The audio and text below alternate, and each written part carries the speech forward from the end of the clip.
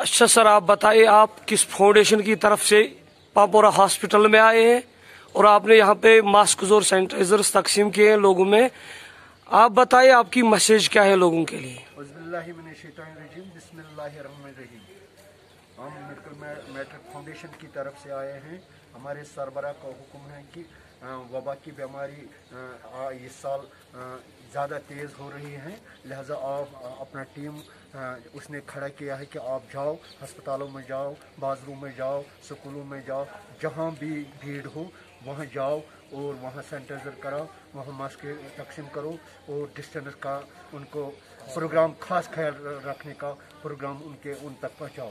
लिहाजा हमारा प्रोग्राम बहुत सारे स्कूलों में हमने किया है। इसके बाद हमने डिस्ट्रिक्ट अस्पताल पुलवामा में किया है। इसके बाद आप पापोरा अस्पताल में आज ये प्रोग्राम